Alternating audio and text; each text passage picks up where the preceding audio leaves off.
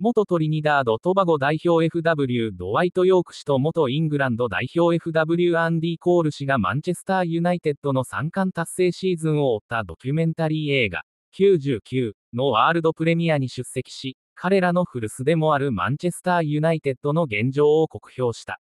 イギリス、デイリー・ミラー、電子版が伝えている。ヨーク氏とコール氏は1998から99シーズンから3シーズンにわたってマンチェスターユナイテッドで2トップを形成。外見が似ている2人のコンビは、ホットセットと呼ばれて相手にとっての脅威となり、1998から99シーズンにはプレミアリーグ、FA カップ、UEFA チャンピオンズリーグの3冠達成に大きく貢献した。翻って今シーズンのマンチェスターユナイテッドは、プレミアリーグでクラブ史上最多となる13敗を喫するなど8位に低迷。ヨーク氏は古巣の現状について、このチームではプレーしたくない、と切り捨て、このように続けた。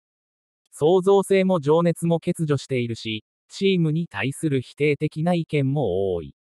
センターフォワードにとってというだけでなく、あらゆるユナイテッドの選手にとって、今のチームは最悪の場所だ。一方のコール氏も、1998、99シーズンのチームが備えていた勝者のメンタリティやハングリー精神はない、と主張。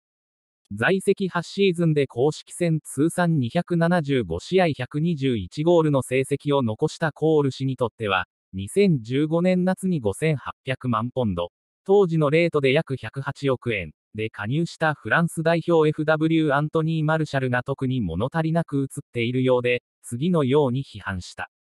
彼は期待外れだ。9年間も在籍していて100ゴールも挙げていない。公式戦通算317試合90ゴール。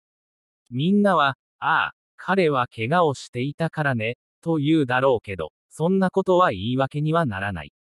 ユナイテッドに9年間も在籍しているストライカーが通算100ゴールも決められないなんて、何かがおかしいとしか言いようがない。